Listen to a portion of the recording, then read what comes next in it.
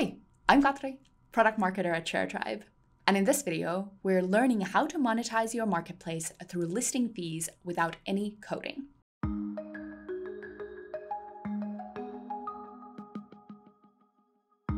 A listing fee is a one-time payment a marketplace charges from a seller, provider, or supplier when they post a new listing.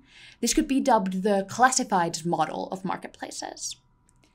For this tutorial, you'll need the following things a ShareTribe account, a Zapier account, and a Stripe account, or an account with your preferred payment system that enables one time payments, creating a payment page, and is a Zapier app if you want to automate the listing fees. And all of those things are true about Stripe, so that's what we're using in this tutorial. You can find links to all of these things below, by the way. The steps of this tutorial are 1. Set up a Stripe payment page. 2. Turn on listing approval in ShareTribe console. 3 update marketplace texts that are related to publishing a listing. Four, create a test listing to test the listing fee. And five, set up a Zap to automate listing approval.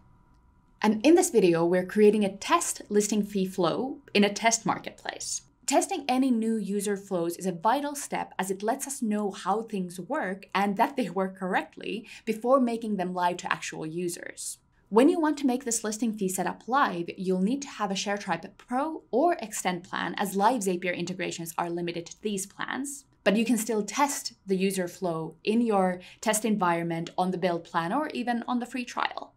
So let's get to it. And step one is setting up a Stripe payment page.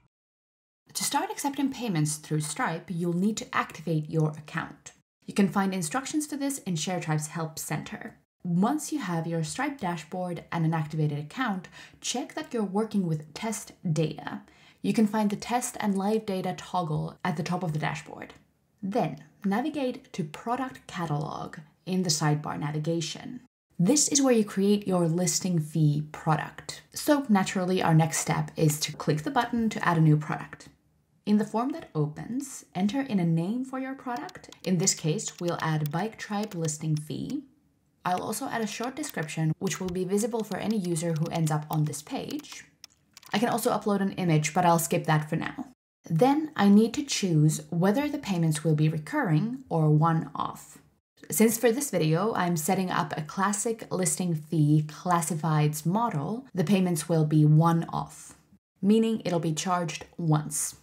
Then I'll add an amount. This is the payment amount that the user needs to pay to get their listing published. And next to it, I can also choose the currency, in my case, euros. And once I've filled out everything, I click Add Product. Now you can see Bike Tribe listing fee in the product catalog. Next, navigate to Payments and Payment Links in the sidebar. Click to add a new link. Under Product, choose the product you just created in the product catalog, in my case, Bike Tribe listing fee. On the right side, you can see a preview of your payment page. There are also plenty of other options you can enable for this page, so I recommend taking a good look at all of the different opportunities that Stripe offers you. You can also determine what kind of message people get after their payment has been confirmed. For example, your listing will be published shortly, stay tuned. And finally, click Create Link at the top right corner. And the last thing you need to do in your Stripe dashboard is to copy the payment page link. Okay, we're done with our Stripe payment page now. So it's time to move over to console. So navigate to your ShareTribe console and go to the access control settings. You can find them in the build section under general. Scroll down on the page and enable the feature approve listings before publishing. Below the setting, you can see three options, no call to action, internal link, or external link. In our case, we'll choose external link because we want to send people to make the listing fee payment on our external Stripe payment page.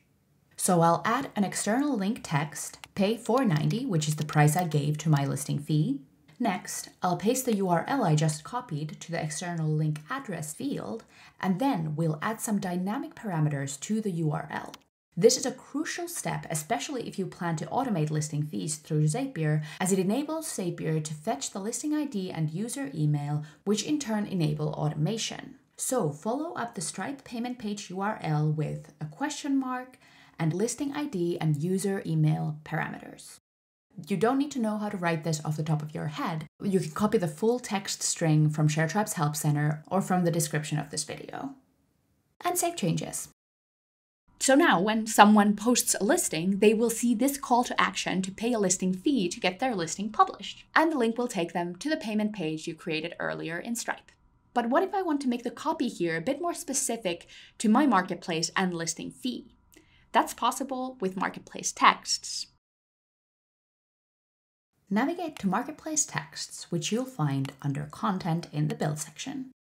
Click your cursor to the Marketplace text editor that opens and search for listing page dot own listing pending approval without any spaces.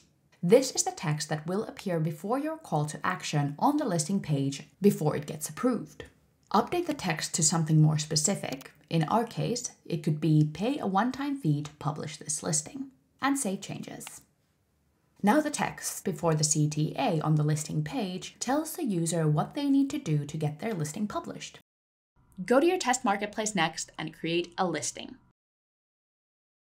You can do this by clicking View Marketplace in the top bar of your console. Make sure you're signed in as a user and click to post a listing. Fill in the listing details and other required information as normally. Click to publish the listing.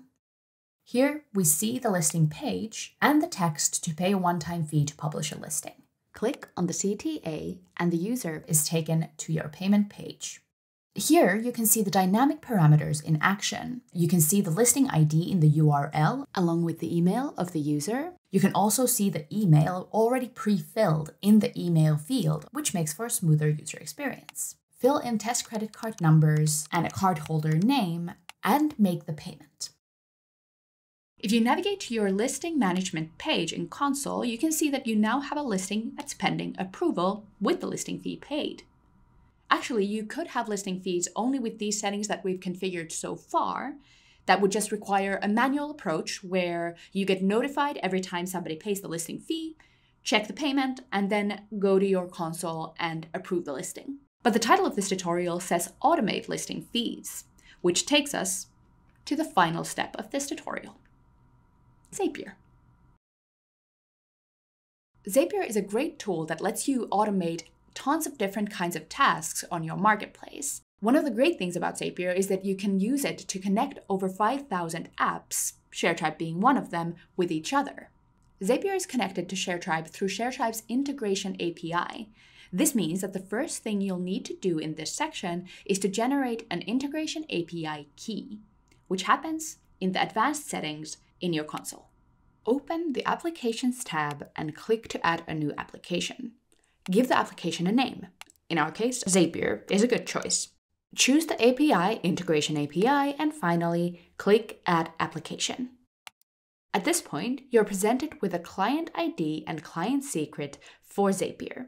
Save the client ID and secret somewhere secure, such as a password manager. This is the only time you'll see the client secret for this app, so make sure you have it saved. But if you still end up losing it, you can always add a new application here in console. At this point, it's also good to remind you that once you go live, you'll need to generate a live integration API key, which is limited to the Pro and Extend plans of ShareTribe. Once you've copied and saved the secret, click I've copied the secret. Now, we move on to Zapier. Our next task is creating the Zap that will automate our listing fees. Zap is a word for Zapier automation. So at this point, you'll need to have your Zapier account ready to go. Okay, we have a couple of ways to get started. You can either create this Zap from scratch or use a template created by ShareTribe's customer advocacy team.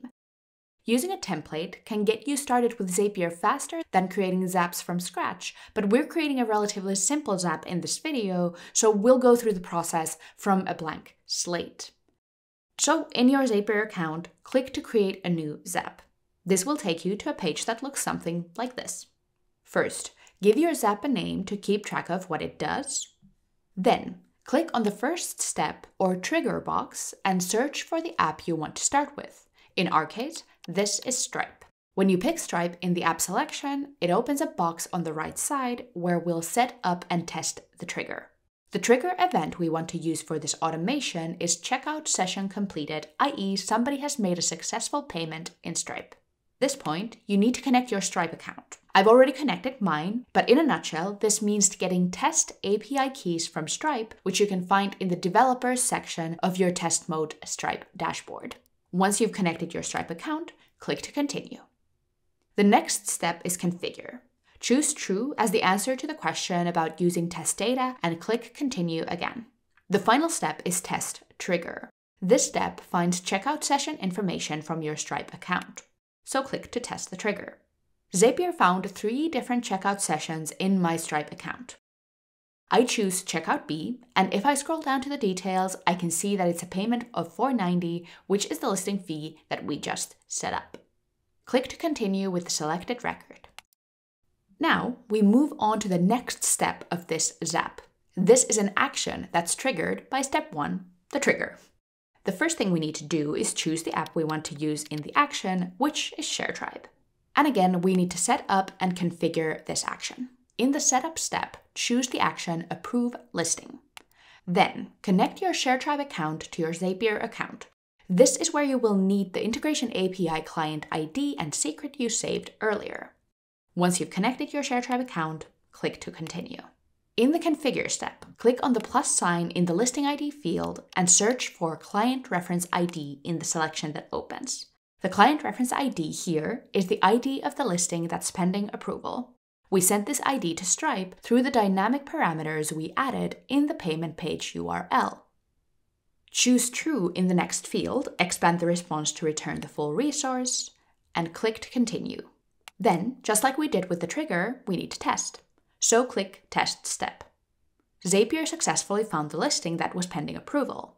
Now, if we go back to our ShareTribe console and update the Manage Listings page, we can see that the listing has been published. This happened automatically through the Zap that we just tested. Since the Zap is working as intended, the final thing to do is to click Publish. This is the bare minimum Zap flow you'll need to automate listing approval, but you can build much longer workflows with Zapier. For example, you could add steps like sending an email to the provider or yourself as the marketplace owner about a new approved listing, or add many other tasks to your listing approval workflow. All right, that's an automated listing fee flow in your ShareTribe marketplace enabled through Zapier and Stripe payments.